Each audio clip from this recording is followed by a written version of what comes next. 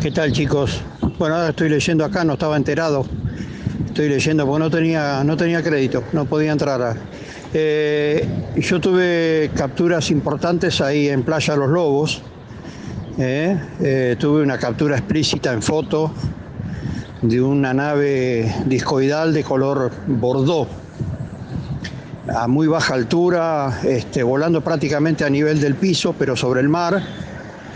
Y después eh, ovnis tubos que entraban y salían del agua, del mar, y iban hacia tierra y viceversa, de tierra hacia el mar, ahí en Playa Los Lobos. O sea que hay muchos lugares donde podemos ir a investigar, pero las áreas más calientes son este, todo lo que significa mar y sierras, o mar y piedras, ¿no? Hola Carlitos, espero que estés muy bien. Yo acá recién ahora terminando de escuchar las últimas tandas de audio que me mandaste. Estoy en la calle, como verás, aproveché que tenía que caminar un rato, así que mientras iba caminando iba escuchando.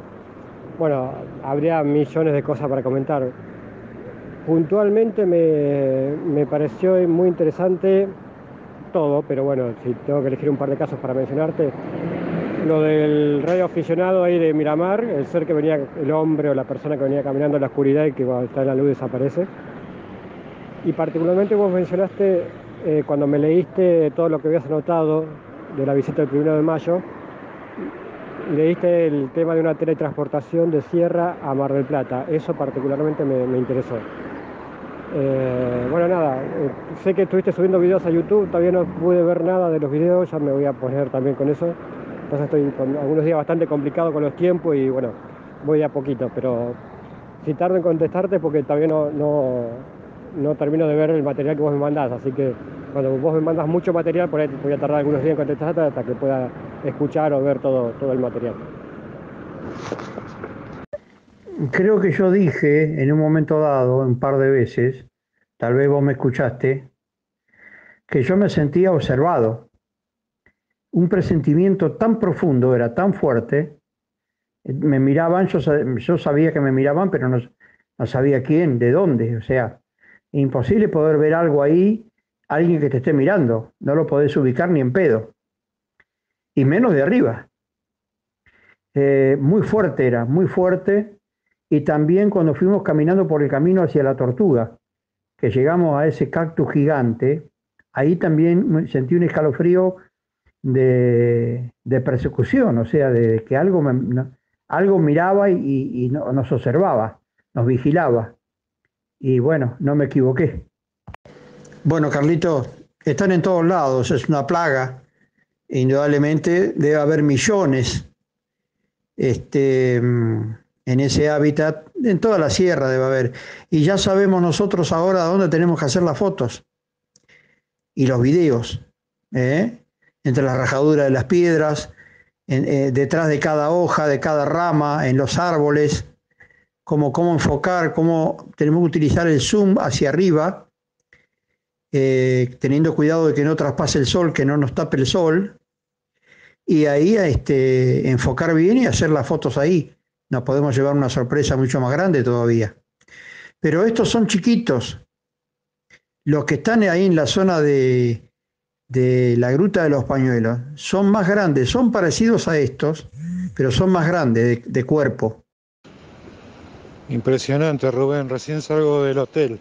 Para mí, como seres espirituales, pueden cambiar de forma y, y tamaño.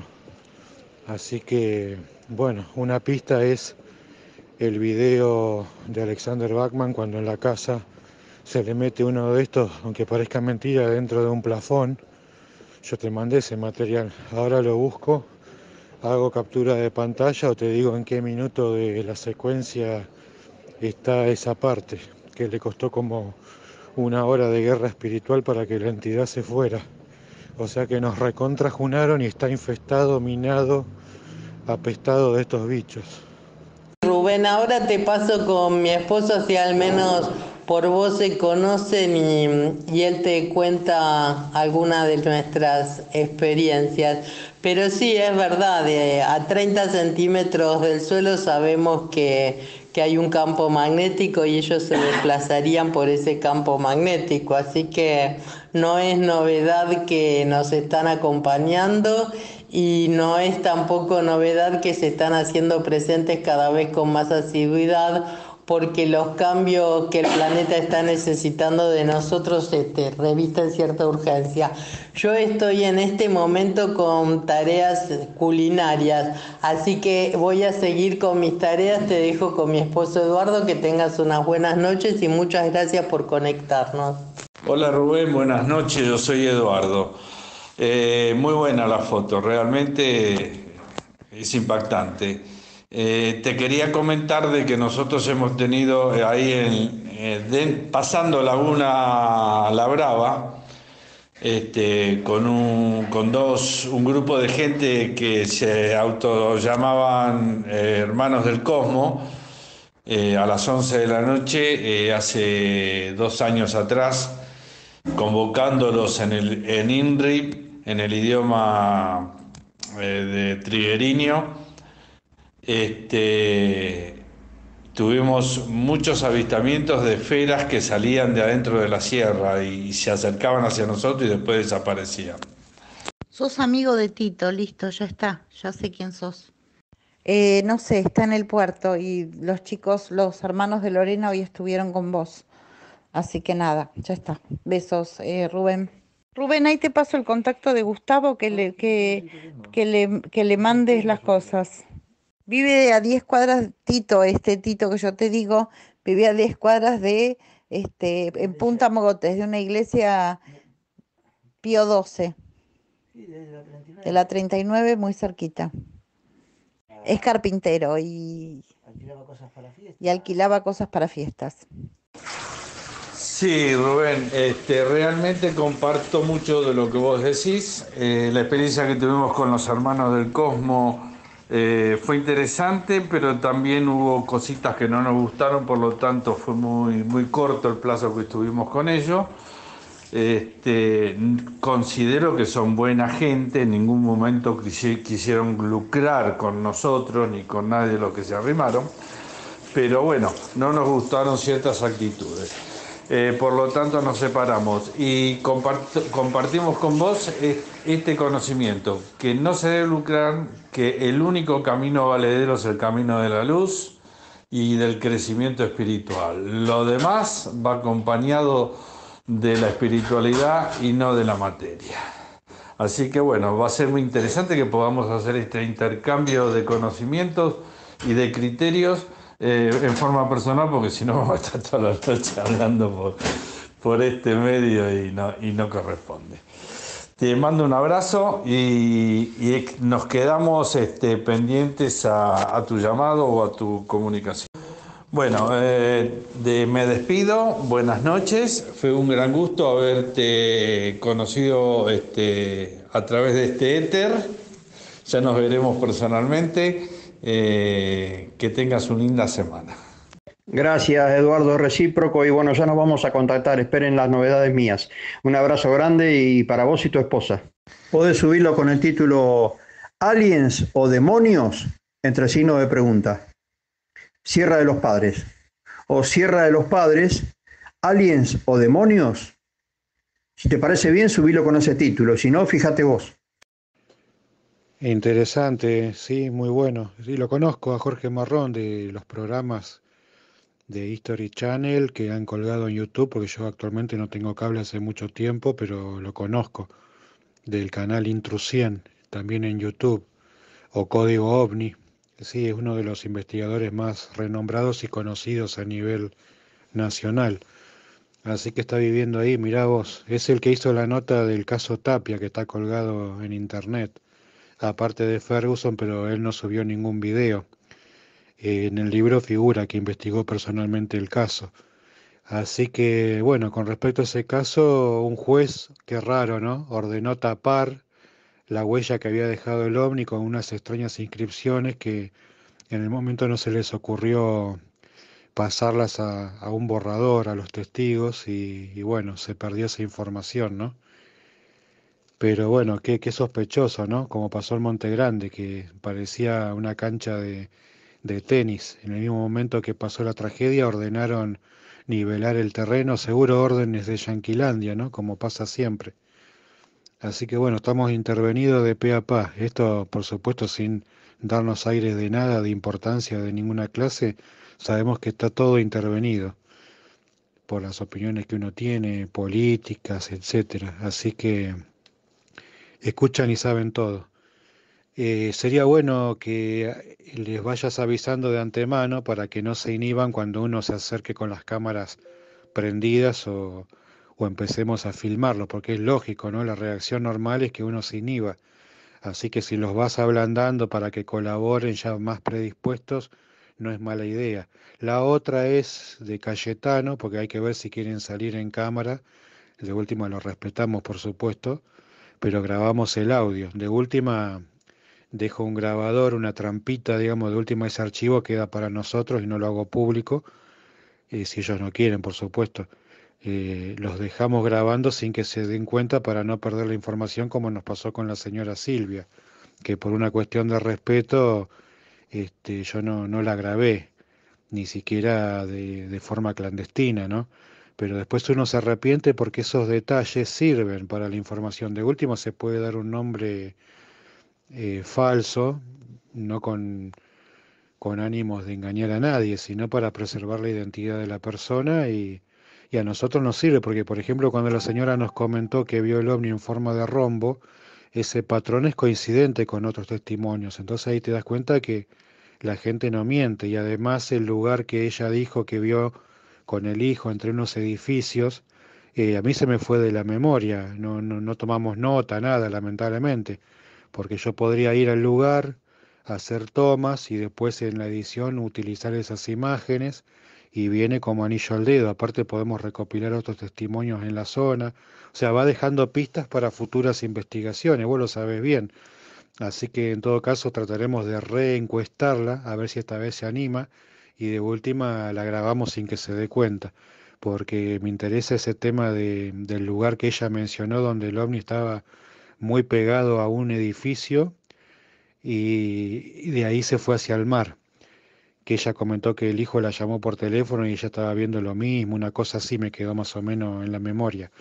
Y le comentamos también el caso del señor este de Miramar, Rodolfo Oscar alias Fito Vivas, que hay que ver si, si vive, ahora que tenemos la oportunidad de viajar con estos chicos en, en auto, que estaría fantástico poder ir hasta el bosque energético y de pasada encuestamos a este señor si, si es que ojalá vive todavía y si está dispuesto a darnos una nota y que nos muestre el lugar exacto, que a mí me mandó una persona que se dedicaba al tema a la cual yo le compraba eh, videos, DVD sobre el tema, que es justamente de la ciudad de Miramar, y un día me encontré con él, ahora no recuerdo el nombre de memoria, cuando me trajo personalmente una encomienda y de ahí fuimos caminando hasta el correo desde Colón y, e Independencia nos fuimos caminando hasta el Correo Central.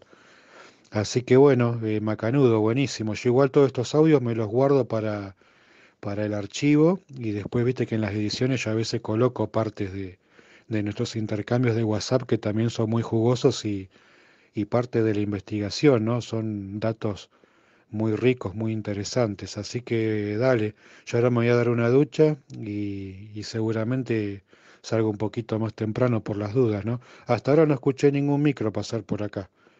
Según mi cuñado, viste, dice que hay, hay recorridos, pero por ahí, como decís vos, ante la posibilidad de que rompan los micros, a lo mejor cortan el servicio, no sé. Y también corro riesgo, como dijiste, de que por más que tome el micro, podemos ligar un cascotazo en cualquier momento, ¿no? O algo peor. Así que bueno, Rubén, cualquier cosa me voy caminando, voy silbando bajito y y en una hora y monedita llego, porque estoy acostumbrado. Encima tengo la, el, talón lastimado con una ampolla por el zapato nuevo y la media como es cortita, no me llega a cubrir esa parte, viste, de, del, del pie. Y entonces se raspa la piel con el cuero del zapato y bueno, me hizo parir ayer. Así que bueno, no te quito más tiempo y seguimos en contacto. Me voy a bañar. Un abrazo. Sí, igual para ir con, con este, tenemos ofrecimiento de otro vehículo que nos quiere llevar a la sierra o al bosque, allá al bosque encantado, como es el bosque, este, ¿cómo que se le dice? energético, el bosque energético. Eh, no va a faltar oportunidad que lo vamos a llevar a Semichil con nosotros. ¿Cómo no? No hay ningún problema.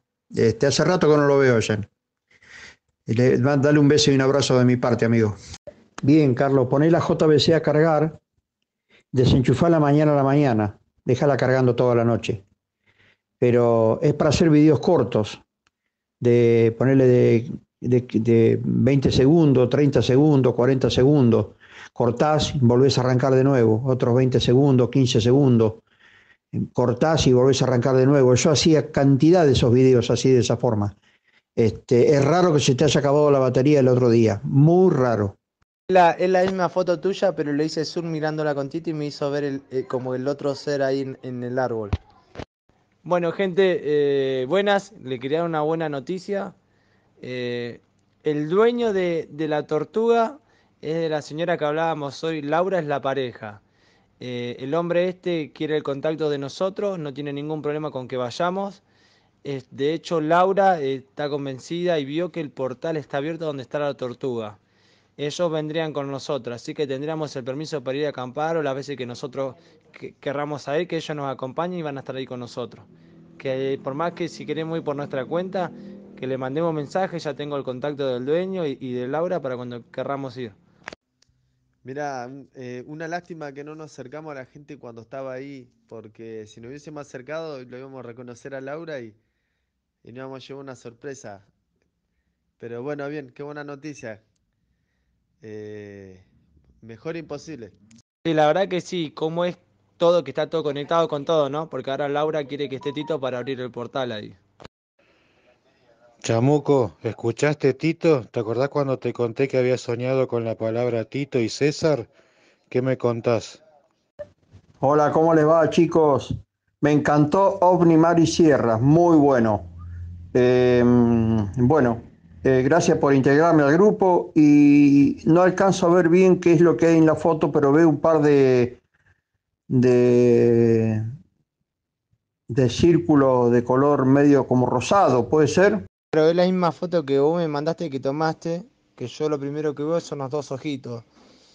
Pero después viéndola más profundamente con José Luis y con Tito acá, que Tito eh, va a querer que, que eh, dar testimonio y que lo grabemos, no tiene problema él vio en el árbol como si hubiera un rostro.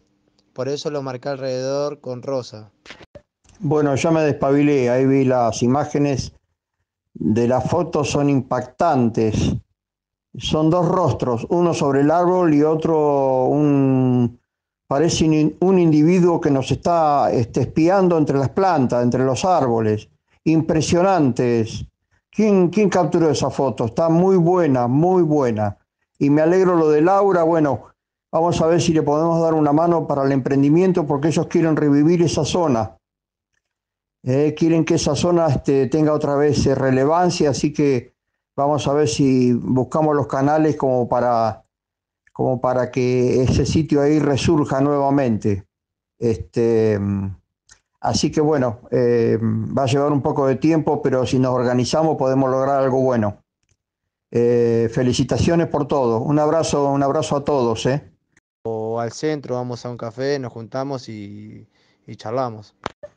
Estos seres se fusionan a las plantas, a los árboles, se fusionan a las piedras. Hay que mirar con detenimiento las piedras porque eh, sus rostros aparecen entre la hendidura de las piedras.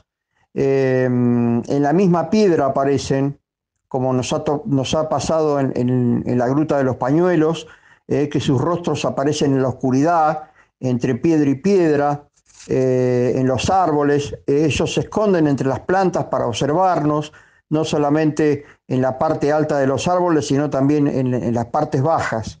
Eh, son muy escurridizos, son muy, muy vivos, muy inteligentes, este, pero indudablemente hoy fuimos la atracción de ellos. Ellos están ahí, nos han observado, y bueno, este, importantísima la incursión de hoy, muy importante. Rubén, eh, Laura y Gustavo, eh, los propietarios de la tortuga, quieren que nos juntemos a tomar unos mates porque ellos también tienen capturado y fotos y Laura sabe que está en un portal ahí. Este, quiere que antes de que acampemos o vayamos, quieren que nos juntemos a tomar mate y también nos hablaron de explotar el lugar y de ver la, de ver la forma, eh, eh, o ellos, ¿no? Pero quieren que nos juntemos a tomar mate porque quieren, eh, están, están contentos y, y nos van a apoyar. Por ello se quieren juntar mañana ya esto, o sea, tuviéramos que hacerlo en la brevedad. Así que si nos ponemos todos de acuerdo, nos organizamos vuelta y vamos una o dos horitas a tomar mate con ellos hasta Sierra y volvemos. Ot- otra opción que tenemos es venir a la casa de mi hermana, porque es amiga de mi hermana, y juntarnos en la casa de mi hermana, y de paso le- mi cuñado Tito, el que le hablaba hoy de la experiencia, le quiere dar testimonio. Bueno, listo. Me informan dónde queda la casa de tu hermana. Eh, a la tarde yo voy, no tengo problemas. ¿Eh? Y bueno, nos juntamos con Tito, ahí nos juntamos todos y vemos a ver qué es lo que podemos hacer, no solamente en materia investigativa, sino para poder sacar adelante el lugar, ¿no? Este, aportar ideas de, de todas las, los cientos de actividades que se puede hacer en ese sitio. Ahí se pueden hacer muchísimas cosas.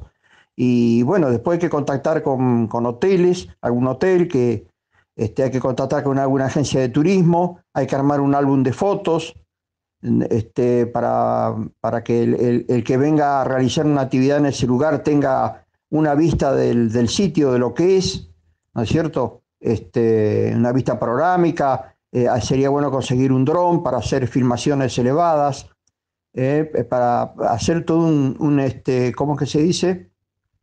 Un marketing, eh, un marketing de, de toda la zona para poder este, vender eh, la- las actividades, ¿no? Eso es, es fundamental. La foto esa la, sa- la saqué con la captura que tiene automática de rostros mi celular. Y bueno, de ahí, ahora voy a seguir revisando más la foto porque creo que hay más material de ese. Así que bueno, vamos a ver qué sale. Y bueno, o sea que fue para hoy todo positivo. Sí, en el caso de emprendimiento o de cosas así, eh, yo también tengo a mi cuñado que él maneja todo lo que es el sindicato del vidrio en la costa y él está encargado de un hotel acá, que bueno, eso lo tiramos hoy, que podría ser un lugar de alojamiento a visitantes futuros, ¿no? Bueno, bárbaro, Damián, hotel ya se tendría. Eh, eh, una cosa quiero, este, lo que acabo de ver en la foto, maravillosa foto, se ven varios rostros, se ven ojos oblicuos entre las ramas, entre las plantas. Eh, estos seres están por todos lados, debe estar plagado el bosque de estos seres, plagado, miles debe haber, millones. Eh, yo veo más rostros ahí, veo más ojos oblicuos que nos están mirando. Impresionante la foto, impresionante. Eh, hay otra, hay otro, hay otro, otro, otra cara como triste también. Este, uno no sabe qué pensar, ¿no? Si- que- de dónde salen todos estos seres. Pero bueno, impresionante la foto. Así que bueno, eh, eh, podemos, este, podemos ver el día que Carlos tiene Franco y nos reunimos todos en- ahí en el centro, en algún café o en la casa de tu hermana. ¿eh? Este, así estamos todos, ¿no? Los, los creadores que hoy estuvimos juntos. Sí, Rubén, yo vi exactamente lo mismo, que de ese rostro hay dos, como dos rostros más de costado, con más detenimiento. Yo creo que ahora cuando nos pongamos más tranquilos a mirar todas las fotos que sacamos, vamos a seguir viendo más. Sí, yo lamentablemente hice como 20 videos con la cámara. La batería aguanta bien, la memoria tiene mucha capacidad, pero la cámara filma como el, como el cuerno. Todos los videos desenfocados, pasados de luz, con mucha iluminación, este, se desenfoca de nada, no sé si está mal calibrada, este, no sé, tengo que llevarla a un service amigo para que me la mire, me la calibre bien. Y si no, este, la tengo que tirar a la basura, eh, lamentablemente. Pero bueno, este, ahora el 22 me traen una camarita filmadora, una Nikon este, semi-reflex que filma en HD y saca buena foto. Así que bueno, este, tendré que tener paciencia. Igualmente el material de ustedes es importante y bueno, vamos a ir tirando con eso. ¿eh? Este, estos, estos individuos que habitan ahí en Sierra de los Padres son muy furtivos, son este, maestros del camuflaje. Yo sé que ellos se mimetizan, son como el camaleón, ¿eh? adaptan el color de su cuerpo al ambiente, son muy veloces, eh, tienen una, ellos hace miles de años que están ahí y saben cómo camuflarse, cómo, cómo no dejarse ver. ¿eh? Este, y bueno, creo que la, la, la, foto más importante fue tomada ahí en, en, el primer lugar donde estuvimos, ¿no? Donde está la lagunita, ¿eh? donde yo junté el capullo. Creo que por ahí es el tema. ¿eh? Ahí se siente una presencia extraña. Yo les dije a ustedes que yo me sentía observado, no sé si recuerdan. Es, es mi cuñado Rubén, el que le hablaba hoy de la experiencia que él tuvo en el basural, en la cantera acá del puerto, las percepciones. Bueno, es él. Él es cuñado de nosotros, pareja de mi hermana, que es amiga de Laura y de Gustavo. Esta chica Virginia que estuvo con nosotros hoy en Sierra no quiere, no quiere aparecer en ningún lado, ni la foto ni nada. Eh, que tenemos que tener cuidado con eso. ¿eh? Bueno, eh, viene, viene bien esto. Viene, hasta ahora viene bastante bien, Carlito. ¿Qué te parece a vos? Dame tu opinión. Ay, por favor, Damián, qué foto. Esa es la de hoy de ahí de Sierra. Es impresionante esa foto. Hay un amasijo de grises ahí. Se ven las cabezas nada más. Es impresionante, impresionante esa foto. No solo me impresiona, sino que me da un poco de temor también. Eh, está, eh, son como parásitos, está lleno ese lugar ahí, está plagado. Impresionante esa foto. A ver, vayan dando opiniones, chicos, es una cosa increíble, no, no, no, no lo puedo creer, ¿no? Eh, me da entre un poco de curiosidad y un poco de temor también, ¿eh? me da temor, yo le soy sincero. A ver si alguno de ustedes ubica a esta gente, porque yo no me ubico este Tito, si alguno lo conoce, o el carpintero, bueno, a ver. Yo, este, esta es una comunicación con Laura Moreno. Sí, yo lo que veo en esa foto es impresionante, es como un nido de grises. Se ven cantidad de cabezas, no se destacan mucho los cuerpos, pero se ven muchas cabezas todas amontonadas, de costado, de frente, mirando hacia abajo, hacia arriba. Es como una especie de nido. Pásame esta imagen última, la del árbol, a Nor castel05 arroba gmail.com.